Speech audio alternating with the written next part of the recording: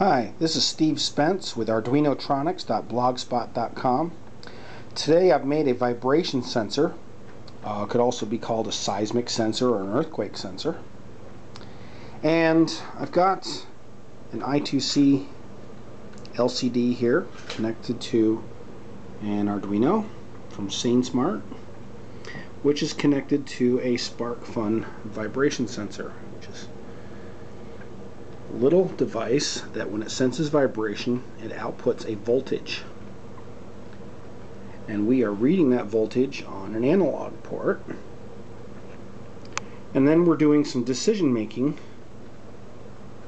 depending on how strong that signal is and displaying a bar graph showing the strength of the vibration. And if it's really strong we'll do something a little bit special here but we're going to go ahead and I'm just going to bang on the table here right next to the sensor and you'll see it goes up. Oh, look at that. We've had an earthquake. Basically, if the vibration is enough, I've got it set to a trig point and says if it's over 8,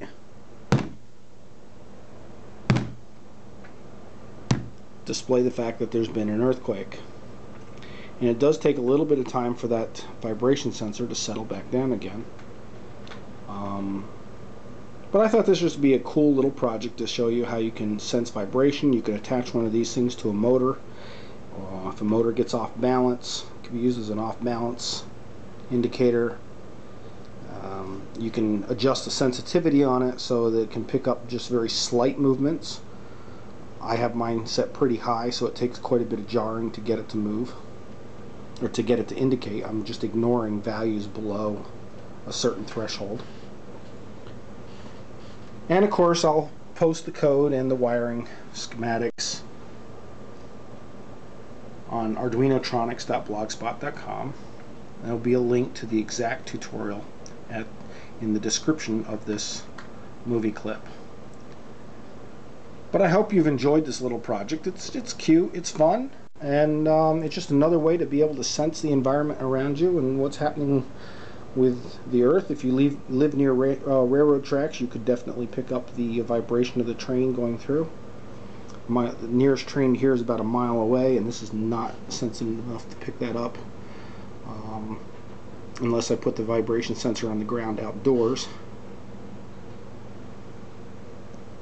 But this is an easy one to uh, reproduce. It's an inexpensive one. The sensor is only about $3 from SparkFun. The Arduino is less than $20. The LCD is about $12. And um, like I said, all the code and schematics will be posted on arduinotronics.blogspot.com. So enjoy. Thank you. This is Steve Spence with arduinotronics.blogspot.com.